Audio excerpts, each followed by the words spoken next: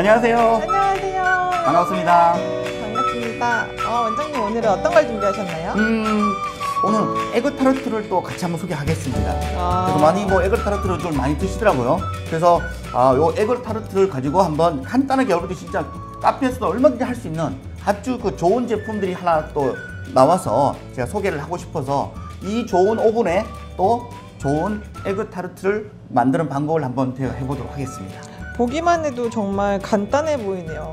네, 요거는 뭐 제가 미리 좀 부어 놨었는데요. 보여드리려고. 그래서 어, 요 에그 타르트는 그 여러분들 뭐 잘 아실 겁니다. 뭐 그래도 많이 하시더라고요. 우리 지난번에 어떤 그 파우더 했던 거 있죠, 우유 파우더. 라떼아트. 라떼아트 파우더를 했던 거였는데 바로 그 회사에서 만드는 거예요. 음. 그 홍식이 디저트, 네. 홍식이 디저트라는 회사에서 바로 이 필링을 냉동으로 갖다 줘요. 냉동으로. 그래서 냉동고에 보관했다가 그냥 한 20분 꺼내놓으면 이렇게 아주 그 묽게 이렇게 만들어줍니다. filling이. 그러니까 여러분께서 filling을 직접 만들 수도 있지만 어떻게요? 매장을 하다 보면 사실은 filling 만들 시간이 없을 수도 있잖아요, 그죠?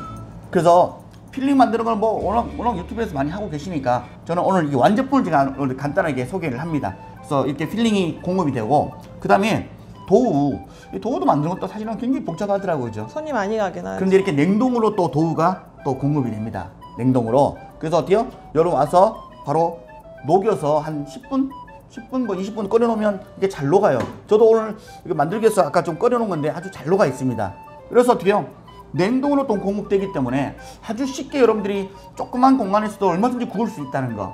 그래서 여기 오늘은 홍식이 egg filling, 에그 타르트 dough로 한번 만들어 보도록 하겠습니다. 자, 지금부터 어, 초보자가 저같이 초보자가 저는 베이커리를 배워본 적이 없습니다. 그래서 저같이 아주 그 뭐 베이커리 쪽에서 디저트 쪽에서 문외한인 저 같은 사람이 어, 이렇게 디저트를 만드는 걸 한번 제가 보여드리도록 하겠습니다. 바로 이런 좋은 오븐과 또 좋은 이런 재료가 있으면 저같이 초보들도 어떻게 해요? 정말 전문가 같지는 않겠지만 어떻게 해요? 맛있는 디저트를 만들 수 있답니다. 그래서 에그 타르트를 한번 지금부터 만들어 보도록 하겠습니다.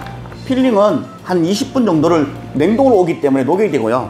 어, filling을 어, 녹이면 되는데 요 dough는 녹이셔도 되고 한 10분에서 20분 정도 녹여서 하셔도 되고 아니면 여기 아까 우리 기능에 어, 냉동 기능을 누르게 되면 냉동 dough를 바로 넣어도 바로 굽히게 됩니다. 그래서 어, 오늘은 제가 그냥 좀 미리 좀 꺼내서 녹였습니다. 여러분께서는 어떻게 해요?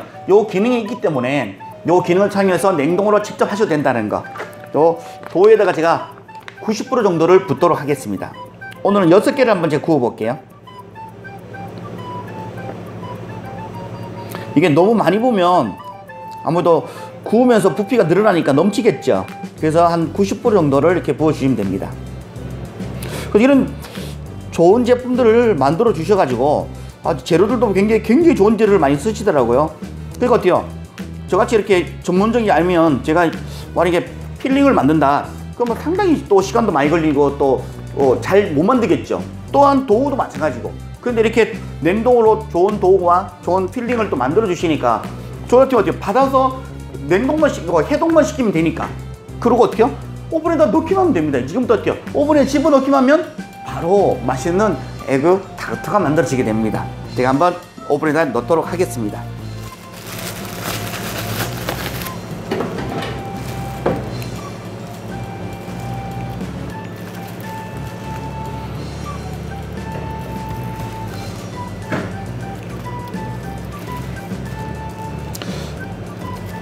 제가 여섯 개만 집어넣는데요. 꽤 많이 넣을 수가 있답니다. 그래서 오늘은 딱 여섯 개 정도만 제가 넣도록 하겠습니다.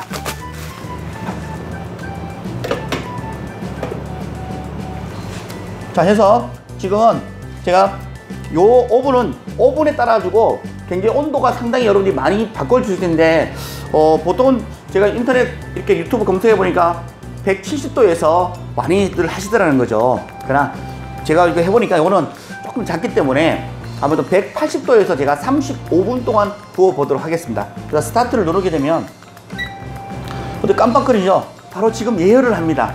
예열을, 예, 저 예열이 끝나면 그 다음부터 바로 굽게 됩니다. 그럼 제 할 일은 이제 다 했습니다. 조금만 기다리시면 맛있는 에그 타르트를 보여드리도록 하겠습니다.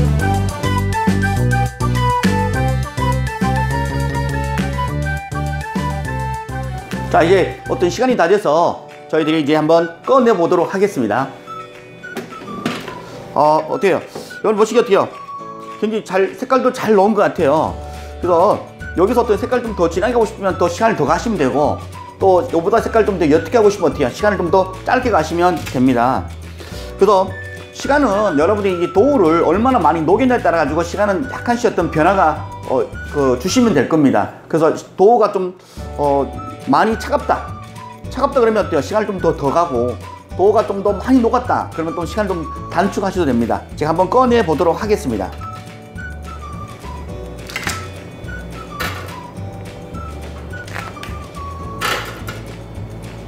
어때요? 제가 어, 베이커리 아주 문외한인데 저도 이렇게 할 수 있지 않습니까? 그죠? 제가 뭐 또 배운 것도 아닙니다. 그냥 뭐 레시피 받아서 그냥 이 좋은 오븐에다가 또 좋은 재료를 이렇게 받아서 그냥 구워내기만 하면 바로 아주 맛있는 에그 타르트가 만들어진답니다. 이렇게 지금 여섯 개 제가 구웠습니다. 뭐 더 많이 이 오븐에서는 구울 수도 있는데 제가 그냥 지금 여러분들 보여드리기 위해서 여섯 개만 이렇게 구워진 상태입니다. 여러분들 맛있게 보이나요? 전문가가 아닌데도 제가 이렇게 많이 만들어 보진 않는데도 에그 타르트를 만들 수 있죠. 브레빌사의 오븐과 또 홍식이 디저트에 이런 재료만 있으면 정말 여러분들 개인 카페에서도 얼마든지 이렇게 맛있는 에그 타르트를 만들 수 있답니다. 어, 다음 시간에는 제가 어떻게요? 정말 크루아상 생지를 이용해서 크루아상을 바로 이 브레빌 오븐으로 한번 구워보도록 하겠습니다. 여러분들 어, 많이 이 커피와 또 에그 타르트 또 커피와 어떤 크루아상 이렇게 드시면서 어때요? 행복한 하루하루를 보내시기 바랍니다. 감사합니다. 이승훈의 구석구석 커피였습니다.